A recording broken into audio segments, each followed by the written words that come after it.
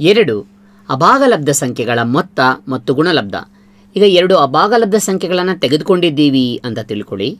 ತೆಗೆದುಕೊಂಡಾಗ ಅವೆರಡನ್ನ ಕೂಡಿದಾಗ ಬರುವಂತಹ ಮೊತ್ತ ಭಾಗಲಬ್ಧ ಸಂಖ್ಯೆಯಾಗಿರುತ್ತಾ ಅಥವಾ ಅಭಾಗಲಬ್ಧ ಸಂಖ್ಯೆಯಾಗಿರುತ್ತಾ?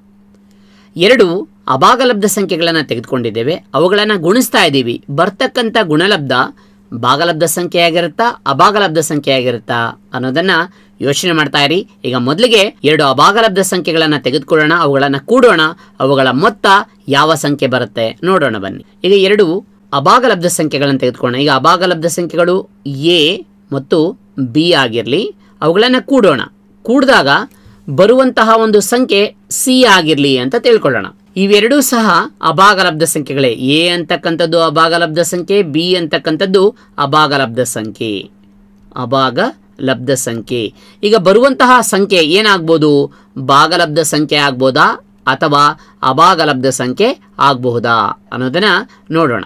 ಈಗ ಒಂದು ಉದಾಹರಣೆಯನ್ನು ತೆಗೆದುಕೊಳ್ತಾ ಇದ್ದೀನಿ. A is equal to pi ಆಗಿರಲಿ ಬಿ ಇಸ್ ಈಕ್ವಲ್ ಟು ಒಂದು ಮೈನಸ್ ಪೈ ಆಗಿರಲಿ. ಈಗ ಇವೆರಡನ್ನ ಕೂಡೋಣ. ಪೈ ಪ್ಲಸ್ ಒಂದು minus pi is equal to pi plus pi minus pi cancel is equal ಎಷ್ಟು ಬಂತು? ಅಂದ್ರೆ ಒಂದು. ದಟ್ಸ್ ಈಕ್ವಲ್ ಟು ಸಿ ಅಂದ್ರೆ ಇಲ್ಲಿ ಒಂದು ಅಂತಕ್ಕಂಥದ್ದು ಏನಪ್ಪಾ ಅಂದ್ರೆ ಭಾಗಲಬ್ಧ ಸಂಖ್ಯೆ. ಇಲ್ಲಿ ಏನಾಯ್ತು? ಬಿ ಸಿ ಅಂತಕ್ಕಂಥದ್ದು ಇಲ್ಲಿ ಬಂದಿರತಕ್ಕಂಥದ್ದು ಏನಪ್ಪಾ ಅಂದ್ರೆ ಭಾಗಲಬ್ಧ ಸಂಖ್ಯೆ ಆಯ್ತು. ಈಗ ಮತ್ತೊಂದು ಉದಾಹರಣೆಯನ್ನ ನಾವು ತೆಗೆದುಕೊಳ್ಳೋಣ.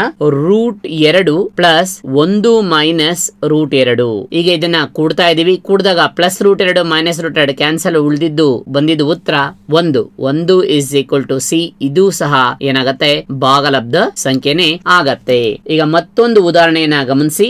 A is equal to pi ಆಗಿರ್ಲಿ B is equal to pi ಆಗಿರ್ಲಿ, ಈಗ ಎರಡನ್ನ ಕೂಡೋಣ. Pi plus pi is equal to two pi pi plus pi is equal to two pi that's equal to C ಅಂದ್ರೆ ಇಲ್ಲಿ pi plus pi is equal to ಎರಡು pi ಆಯ್ತು. That's equal to C ಅಂದ್ರೆ ಈಗ ಇಲ್ಲಿ C ಏನಾಯ್ತು? ಅಭಾಗಲಬ್ಧ ಸಂಖ್ಯೆ ಆಯ್ತು. ಯಾಕೆಂದ್ರೆ ಪೈ ಒಂದು ಅಭಾಗಲಬ್ಧ ಸಂಖ್ಯೆ ಅದರಿಂದ ಅಭಾಗಲಬ್ಧ ಸಂಖ್ಯೆ ಆಯ್ತು. ಮತ್ತೊಂದು ಉದಾಹರಣೆಯನ್ನು ತೆಗೆದುಕೊಳ್ಳೋಣ. ಪೈ ಪ್ಲಸ್ ರೂಟ್ ಎರಡು ಇಸ್ ಈಕ್ವಲ್ ಟು ಏನಾಗ್ತದೆ? ಪೈ ಪ್ಲಸ್ ರೂಟ್ ಎರಡೇ ಆಗತ್ತೆ. ಪೈ ಅಂತಕ್ಕಂಥದ್ದು ಪೈ ಅಂತಕ್ಕಂಥದ್ದು ಒಂದು ಅಭಾಗಲಬ್ಧ ಸಂಖ್ಯೆ ರೂಟ್ ಎರಡು ಅಂತಕ್ಕಂಥದ್ದು ಒಂದು ಅಭಾಗಲಬ್ಧ ಸಂಖ್ಯೆ. That's equal to pi plus root ಎರಡು. ಅದು ಸಹ ಏನಾಗತ್ತೆ? ಅಭಾಗಲಬ್ಧ ಸಂಖ್ಯೆನೆ ಆಗತ್ತೆ. ಅಂದ್ರೆ ಈಗ ಇಲ್ಲಿ ನೋಡಿ, ಇಲ್ಲಿ ನಾವು ತೆಗೆದುಕೊಂಡಾಗ ಅಲ್ಲಿ ಏನಾಯ್ತು ಭಾಗಲಬ್ಧ ಸಂಖ್ಯೆ ಬಂತು. ಇಲ್ಲಿ ಭಾಗಲಬ್ಧ ಸಂಖ್ಯೆ ಬಂತು, ಇಲ್ಲಿ ಅಭಾಗಲಬ್ಧ ಸಂಖ್ಯೆ ಬಂತು. ಹಾಗಾದ್ರೆ ಎರಡು ಅಭಾಗಲಬ್ಧ ಸಂಖ್ಯೆಗಳನ್ನ ಕೂಡಿದಾಗ ನಮಗೆ ಯಾವ ಒಂದು ಸಂಖ್ಯೆ ಸಿಗತ್ತೆ ಅಂದ್ರೆ, ನಾವು ಯಾವ ಸಂಖ್ಯೆಯನ್ನು ತೆಗೆದುಕೊಳ್ತೇವೋ ಆ ಸಂಖ್ಯೆಗಳ ಮೇಲೆ ಆಧಾರವಾಗಿರುತ್ತೆ. ಅಂದ್ರೆ ಎರಡು ಅಭಾಗಲಬ್ಧ ಸಂಖ್ಯೆಗಳ ಮೊತ್ತ ಭಾಗಲಬ್ಧ ಸಂಖ್ಯೆ ಆದರೂ ಆಗಿರಬಹುದು ಅಥವಾ ಅಭಾಗಲಬ್ಧ ಸಂಖ್ಯೆ ಆದರೂ ಆಗಿರಬಹುದು. ಅದರಿಂದ ಅದು ಯಾವುದನ್ನು ಅವಲಂಬಿಸಿದೆ ಅಂದರೆ ನಾವು ಯಾವ ಎರಡು ಸಂಖ್ಯೆಗಳನ್ನು ತೆಗೆದುಕೊಳ್ತೇವೆ, ಯಾವ ಎರಡು ಅಭಾಗಲಬ್ಧ ಸಂಖ್ಯೆಗಳನ್ನು ನಾವು ತೆಗೆದುಕೊಳ್ತೇವೋ ಅವುಗಳ ಮೇಲೆ ಅದು ನಿರ್ಧಾರವಾಗತ್ತೆ. ಈಗ ಮತ್ತೊಂದು ಉದಾಹರಣೆಯನ್ನು ಗಮನಿಸೋಣ. ಇಲ್ಲಿ ಎರಡು ಅಭಾಗಲಬ್ಧ ಸಂಖ್ಯೆಗಳನ್ನು ತೆಗೆದುಕೊಳ್ಳೋಣ. ಎ, ಇಲ್ಲಿ ಎರಡು ಅಭಾಗಲಬ್ಧ ಸಂಖ್ಯೆಗಳನ್ನು ತೆಗೆದುಕೊಳ್ಳೋಣ. ಎ ಮತ್ತು ಬಿ ಅವುಗಳನ್ನು ಗುಣಿಸ್ಕೊಳ್ಳೋಣ. A into B that's equal to C ಈಗ ಇವೆರಡೂ ಸಹ ಏನಪ್ಪ ಅಂದರೆ ನಾನು ಆಗಲೇ ಹೇಳಿದ್ದೀನಿ ಇವೆರಡು ಅಭಾಗಲಬ್ಧ ಸಂಖ್ಯೆಗಳು. ಈಗ ಬರ್ತಕ್ಕಂಥ ಸಂಖ್ಯೆ ಇಲ್ಲಿ, ಇದು ಭಾಗಲಬ್ಧ ಆಗತ್ತಾ ಅಭಾಗಲಬ್ಧ ಆಗತ್ತಾ?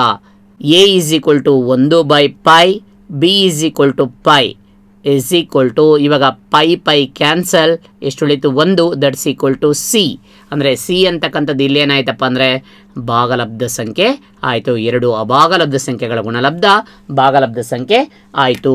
ಮತ್ತೊಂದು ಉದಾಹರಣೆಯನ್ನು ತೆಗೆದುಕೊಳ್ಳೋಣ. ಒಂದು ಓವರ್ ರೂಟ್ ಎರಡು ಇಂಟು ರೂಟ್ ಎರಡು. ಈಗ ರೂಟ್ ಎರಡು ರೂಟ್ ಎರಡು ಕ್ಯಾನ್ಸಲ್ ಉತ್ತರ ಎಷ್ಟು ಬಂತು? ಒಂದು ದಟ್ಸ್ ಈಕ್ವಲ್ ಟು ಸಿ ಅಂದರೆ ಈಗ ಇದು ಭಾಗಲಬ್ಧ ಸಂಖ್ಯೆನೇ ಆಯಿತು. ಈಗ ಮತ್ತೊಂದು ಉದಾಹರಣೆಯನ್ನು ತೆಗೆದುಕೊಳ್ಳೋಣ. ಮತ್ತೊಂದು ಉದಾಹರಣೆಯನ್ನು ತೆಗೆದುಕೊಳ್ಳೋಣ. Pi into pi pi into pi. ಈಗ ಗುಣಿಸ್ಕೊಳ್ತಾ ಇದ್ದೀವಿ pi into pi pi square. ಈ ಪೈ ಸ್ಕ್ವೇರ್ ಅಂತಕ್ಕಂಥದ್ದು ಯಾವುದಪ್ಪ ಅಂದರೆ, ಇದೊಂದು ಅಭಾಗಲಬ್ಧ ಸಂಖ್ಯೆ.